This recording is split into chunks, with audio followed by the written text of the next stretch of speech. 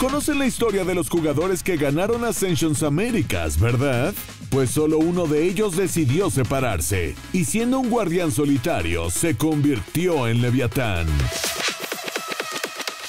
Tex llega al equipo latinoamericano luego de un prometedor 2023. Tras conseguir el trofeo de Ascensions, este jugador fue en busca de nuevos desafíos y no se unió a G2 como sus demás compañeros.